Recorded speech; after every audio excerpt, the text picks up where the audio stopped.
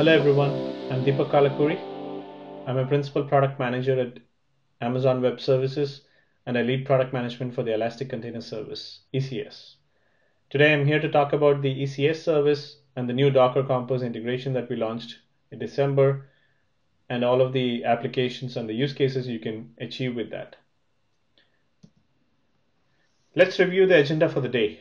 We'll have a quick review of the key container services and ECS specifically so that we're all on the same page and then deep dive into the specifics of the Docker Compose and talk about the Docker Compose ECS integration. I will talk about some of the practical use cases that you can solve with that integration and the value proposition of running in the Fargate service. I'll also talk about a new service offering that we just launched, the Amazon Elastic Container Service Anywhere uh, ECS Anywhere. With that, let's get started. What do we hear from our key customers? We hear a lot of things. Some of our most successful customers want the ability to innovate faster, quickly, and compete in a global marketplace and deliver value for their customers in turn. They want their teams to focus on building applications, not infrastructure. This helps them innovate rapidly. They want their infrastructure to be customized to their needs.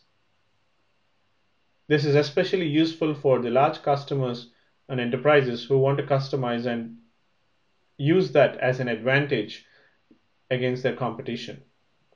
They want the ability to scale their applications rapidly to their demand that their websites see, for example, or their internal customers ask them for.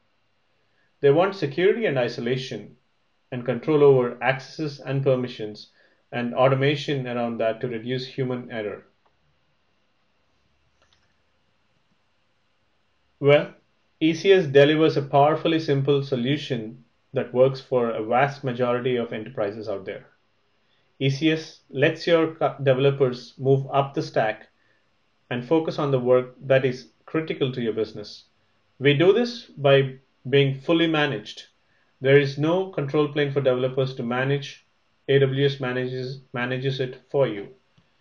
We do this by being easy to learn. If you know AWS and the Amazon APIs, you know ECS. We have Amazon AWS native authentication, networking, and storage, and great integrations with many other AWS services. Our simplicity comes from the fact that there are no versions to manage, there are no versions to upgrade, and then you can just get quickly started without managing infrastructure with the ECS Fargate. We do this by being easy to adopt. We have a rich set of partners and tooling to help you bring the software you already know with you to ECS. And more importantly, we do this by being Amazon grade. That means reliability and security at a huge scale. We run some of the largest workloads and the most critical workloads on the planet with ECS every single day.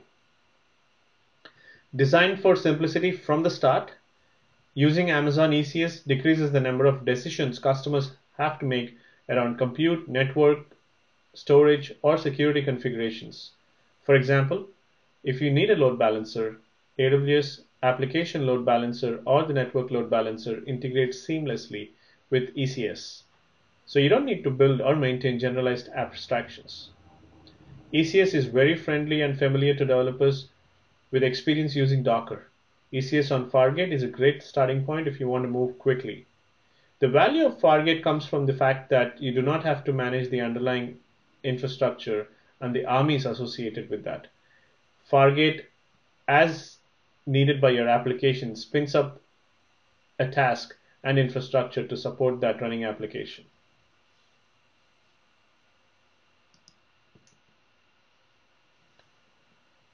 AWS is deeply committed to removing heavy lifting for teams. Last year, we announced a relationship with Docker to support this commitment. Developers love the simplicity of Docker Compose and the desktop, yet they haven't had a simple way to use Docker and deploy those applications to AWS from their local development environments. That is now handled native, natively with the integration that we just launched. Our collaboration allows developers to use Docker Compose to deploy applications on the Amazon ECS with Fargate and streamline the process of deploying and managing containers in AWS from your own local development environment using Docker. We expect to build more with Docker. We'd love to get your inputs, so please ask. There is a GitHub that you can go to and leave comments on for any feature requests you have.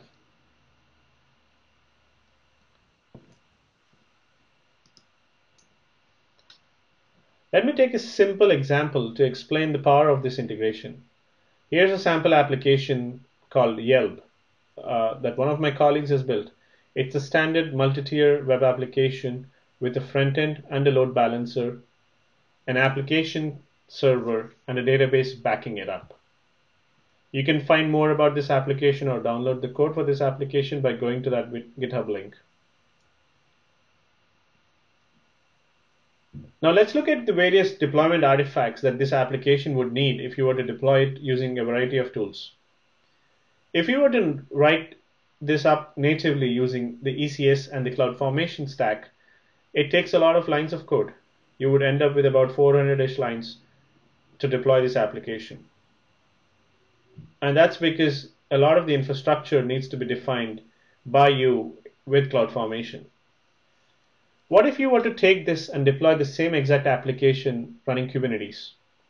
With Kubernetes, you would probably end up about 200-ish lines. That's that's a great improvement, 50% improvement uh, in the infrastructure as code because Kubernetes provides some abstractions for you. Well, what if you wanted to stick with ECS and simplify it? One way you could do that is to actually use the AWS CDK, the deployment kits, that ECS natively integrates into. If you were to use the CDKs, the CDK would in turn create the artifacts for you on the CloudFormation, and you would actually need only about 100-ish lines. That's already down to a 25% compared to the stack that you would end up with if you were to write it yourself in CloudFormation. Well, with now with the Docker Compose integration and the abstractions we have built natively into this integration, you can deploy the same application on the Fargate with just 40 lines of code. That's a whopping 90% reduction in the code. So how do we do this? To answer that, you would need to understand just a little bit more about this application and Docker itself.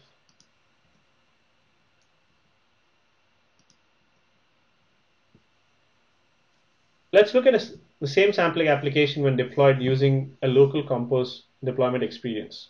You would load up the application using the Docker CLI and take your Yelb Docker Compose YAML and run it through the CLI.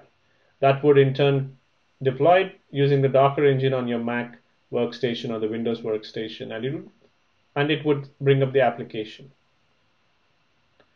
A user can now access this application running on your computer through the browser using the localhost connectivity. This is great. Uh, it gives you a good way to quickly test, do a Docker up, and down and then you you're off running. But what if you wanted to take this application and deploy that in the cloud today? With this integration now you can do that and quite easily. If you were to take the same exact application the YAML file and run it through the integration that we built it'll generate opinionated CloudFormation templates automatically for you. You can see that the Docker CLI with its now integrated commands would generate a CloudFormation template and you can now start to interact with the AWS CLI to take these CloudFormation templates and deploy them in the Amazon automatically. So all of a sudden now you have a stack for this running in the cloud on the Fargate with Elastic Container Service. A user can still continue to access the application through the browser and it would hit the application load balancer running in cloud and which would direct the traffic onto one of the tiers. There are many use cases that this enables. Let's talk about a few of them. First, it's likely for running multiple con containers in an application. Developers are already using Docker Compose to power their local deployment and development. And maybe they're using Docker Swarm or their own version of Kubernetes to orchestrate the workloads in their data centers. There are customers who are looking forward to migrating these workloads to the cloud, to the Amazon Web Services cloud, using the simplicity of the ECS Fargate. Today, they don't have much of a choice because they'd have to figure out writing up this entire application themselves and the infrastructure as code and deploying it, or running and managing their own orchestrators and the complexity that comes with that in their data centers. There are customers who are concerned about the developer productivity and developer experience across this migration journey. Customers who want to orchestrate a multi-tier application end-to-end testing with their own CI/CD pipelines have a lot to worry about. With this integration, you can now seamlessly have the same experience and deploy the applications in cloud and natively integrate into your own CI/CD pipelines. Talking about hybrid environments, I want to discuss about new innovations we're launching here. One of the improvements we will be adding for this integration this year would be for the ECS Anywhere. Let me give you some context on what the ECS Anywhere is about. At AWS, we believe in offering customers choice for running containers. Customers can run containers in the AWS regions today. Over the last few years, we've added support for running container applications with ECS on local zones or the AWS wavelength and and recently in the last one and a half years or so on AWS Outposts. But customers still run a lot of workloads or have a lot of legacy workloads running on premises in their own data centers. Some of these customers sometimes want to start their containerization journey before they move to the cloud. And they wanted a way to manage containers on their customer managed infrastructure as well that is already running in their own data centers. There are a few key use cases uh, for these hybrid footprints. One, customers want to have a consistent experience deploying containers in Amazon and on-prem in their data centers. There are ISVs who want to be able to better compete for their for on-prem businesses and today they're not able to do that because they have to navigate disparate tool sets for running containers between the cloud and on premises. And that really increases their costs, which they'd have to pass on to their end customers, and therefore the overall cost of the whole ecosystem goes up. Customers who run in regulated industries want more control over how their infrastructure is managed. There are startups who build applications like personal wallet apps that need to have data centers and data located locally due to the regulations.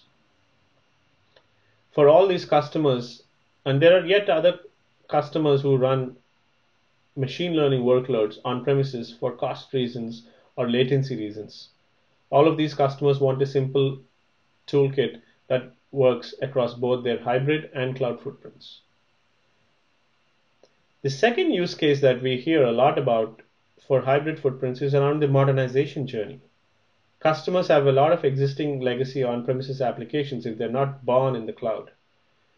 So outside of the digital native applications and digital native customers, there are a lot of large enterprises with legacy workloads. And as part of their modernization or containerization journey, they want to be able to containerize existing workloads on premises while they figure out their long-term migration path to cloud. And yet there is a third set of use cases we start to hear a lot about, which is about running data processing workloads at the edge. There are enterprises who run containerized data processing workloads on edge locations, such as the factory workflows, or for machine data aggregation, or drone and CCTV image processing, or medical image processing at the local facilities. Today, these customers would have to stand up their own Kubernetes or container orchestrator, open source container orchestrator, and that can be quite expensive in terms of both the ability to get up to speed and learn the latest constructs and also managing the control plane and keeping it up and ready and managing the infrastructure as well as the versions for those orchestrators.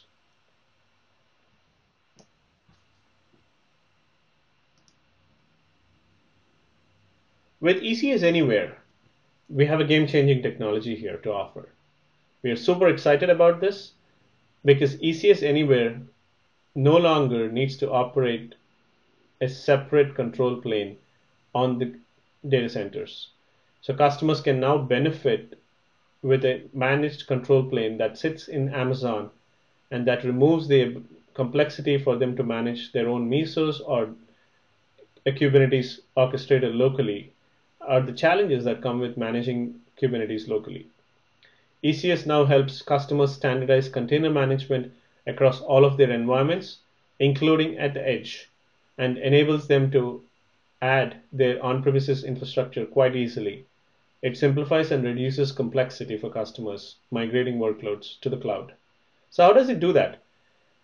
Firstly, it's the same exact control plane. It's a fully managed control plane that ECS has today. And what we've done is, in addition to enabling Fargate, EC2, and Outpost, and many other compute types that AWS offers, we now have the ability for you to take your on-premises infrastructure, which could be a bare metal server or a virtual machine instance, and connect it through an agent into Amazon ECS. Once the agent is up and running, you're connected to the control plane through your authentication keys, and that is all you need. At this point, the ECS agent takes over managing the container applications on that infrastructure. And with the same ECS run task and the ECS service create, that simple application construct, you're able to run your container applications on your own data centers. You get a consistent tooling and governance. You use the same tools and the APIs for all of your container-based applications regardless of the operating environment. You can also now manage your hybrid footprint with one toolkit and migrate or expand to cloud if you run out of data center capacity. When we look at both the personas, the operator and the developer persona, operators, central IT operators can now easily enable the developers to innovate with containers without having to worry about how they would actually do that. Developers can request their operators for either a bare metal server or a virtual machine, and that is all they need. Once the virtual machine is presented to the developers, developers can take over and then deploy their agents and then run in the cloud. There are no additional costs. It's a fixed cost, and as you can imagine, uh, we are priced aggressively to promote container adoption irrespective of where the containers run. What do our customers say? Well, as a matter of fact, they're very excited. Cyber Agent is, an, is a great example here. Cyber Agent is an internet services company, a large one at that, based out of Japan that focuses on digital advertising and media services. They're excited about the possibilities and what ECS Anywhere offers for them with the powerful simplicity of ECS being available to customers running on premises. There is no control plane running in the data center. It's centrally managed and all of the upgrades are taken care of automatically. ECS Anywhere enables them to use a fully managed control plane in the cloud, orchestrating across containers both in the cloud and on premises, and helps them run tasks using their own infrastructure, which they've already invested in with this one control plane for both on-premises and cloud-native applications, they are able to better manage their hybrid footprint, get their costs down, and innovate with a lot of agility for their customers.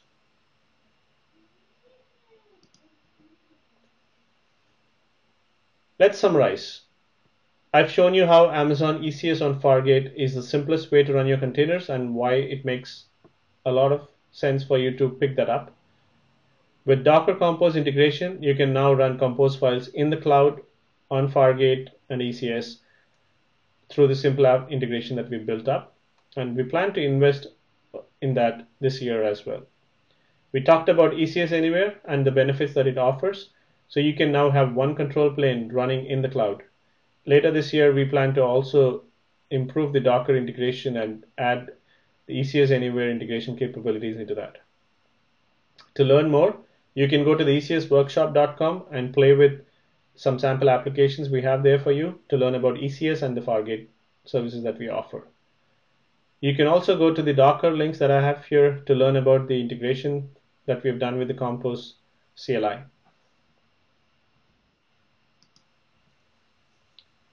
Thank you. Uh, with that, that's a wrap. Uh, thanks for listening and chiming in. And if you want to reach out to us, you can find me on Twitter or LinkedIn. Deepak Kallakuri signing off. Thank you.